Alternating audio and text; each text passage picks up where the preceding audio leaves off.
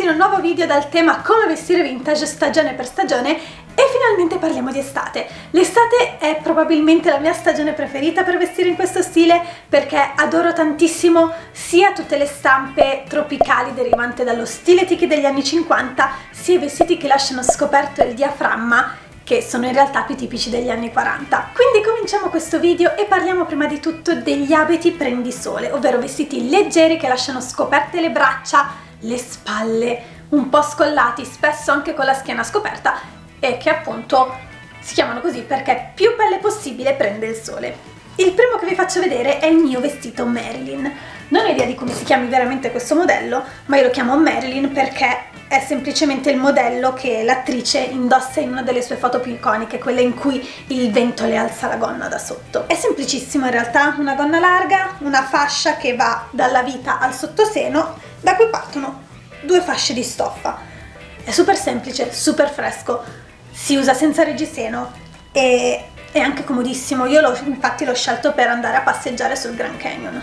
Altri modelli di prendisole sono quelli che si annodano, non so come spiegarmi meglio, quindi ve li faccio vedere. Questo ad esempio si annoda sul davanti, coprendo il seno ma lasciando scoperto appunto il diaframma. Oppure questo ha la parte anteriore intera e steccata, quindi anche qui non serve il reggiseno, e poi si allaccia dietro, lasciando praticamente tutta la schiena scoperta solo con un fiocco. Anche questo con la gonna molto larga, in modo che le gambe rimangano fresche. Un modello invece che è considerato un must ma che purtroppo mi manca ancora è il sarong dress, ovvero sono dei vestiti che hanno un corpetto normalissimo come potrebbe essere questo, ma la cui parte inferiore sembra un pareo.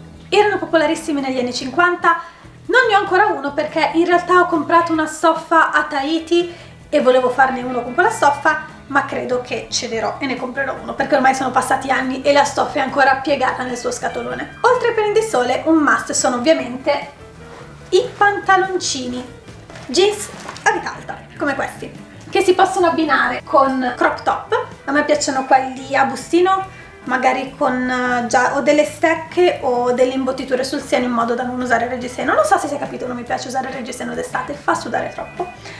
Oppure possono essere abbinati con delle camicie hawaiane. Camicie hawaiane a me piacciono quelle larghe, da uomo sostanzialmente, infatti questa è del mio ragazzo, lui non la usa più e la uso io. La metto annodata sul davanti e anche questo è un richiamo allo stile tiki degli anni 50. Se non ci si sente proprio a proprio agio con i pantaloncini corti ci sono i pantaloncini a pinocchietto o come si chiamavano negli anni 50 capri pants.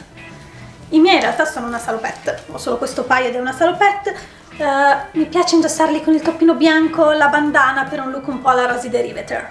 Poi, ovviamente, oltre ai pantaloni ci sono anche le gonne. Questa l'ho fatta io, è una gonna bottonata, ovvero ha una fila di bottoni sul davanti e si può indossare sia chiusa intera che aperta. C'è anche un tutorial sul canale e anche su IGTV. E so benissimo che in tutti gli altri video vi ho detto che sottogonne di questo genere servono sottogonne in tulle, ma in estate è una cosa che sconsiglio perché tengono piuttosto caldo e fanno sudare, quindi è meglio evitare di metterle.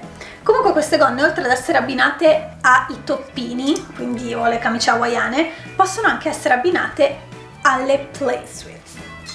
Tutine, tutine come questa. È un abbinamento anche questo che viene dagli anni 40, 50, anche 60. Si mettevano queste tutine che in teoria venivano usate per lo sport, ma diciamocelo, non è che tutte le usassero per lo sport, semplicemente sono carine e quindi la gente le usava e metteva sopra una gonna bottonata spesso dello stesso colore della tutina in modo che sembrasse un vestito. Io ovviamente questa l'ho comprata, purtroppo non c'era la gonna abbinata e quindi me ne sono fatta una rossa da mettere insieme, così posso metterle sia in città e poi quando vado in spiaggia o a fare delle camminate posso togliere la gonna o sbottonarla e rimanere con la tutina. Questo è di un brand cinese che si chiama Le Palais Vintage e non lo sapevo, ma è un'imitazione di una tutina degli anni 50, bellissima. Quella però aveva la gonna abbinata. Perché non gliel'hanno fatta anche a questa? Sarebbe stato fantastico. E adesso qualcosa che quando ero più giovane detestavo tantissimo e adesso adoro. I completini, tipo questo. Gonna e toppino.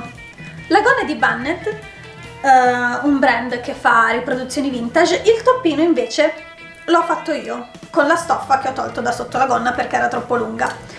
e pensavo anche di fare un tutorial se vi interessa. In realtà questa gonna veniva abbinata ad un costume da bagno e mi piaceva tantissimo l'idea, ad esempio c'è nel film Blue Hawaii quando Meryl si slaccia la gonna e corre in mare e si scopre che quello che aveva addosso non era un vestito ma appunto un costume e una gonna. Ma qui non funziona perché il colore è diverso. La stoffa è diversa e il colore è diverso.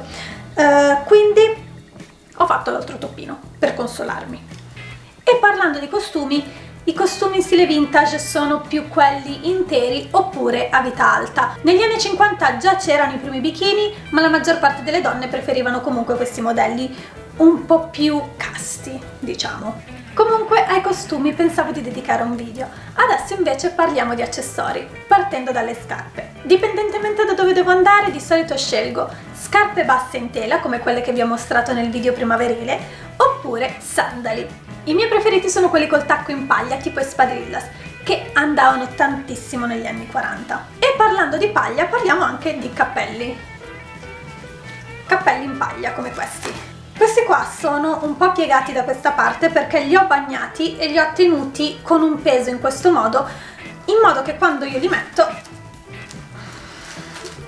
non mi vadano davanti agli occhi anche con i capelli in paglia si possono usare fiori per i capelli. Basta semplicemente pettinare tutti i capelli da un lato e mettere appunto i fiori da quel lato. E dopo i capelli in paglia le borse in paglia. Voilà.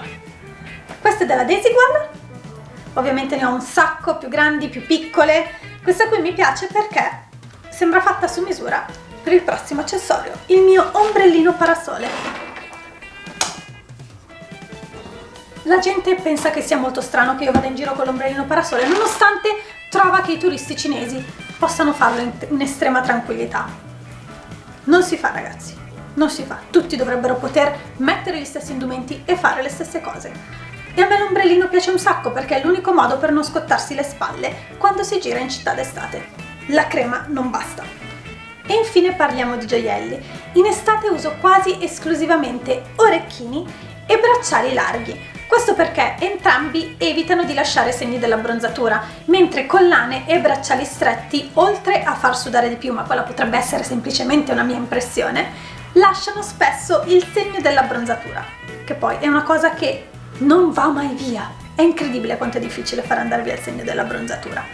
Comunque, questi erano i miei consigli per i vestiti vintage estivi. Spero vi siano piaciuti e ci vediamo con un altro video del genere in autunno.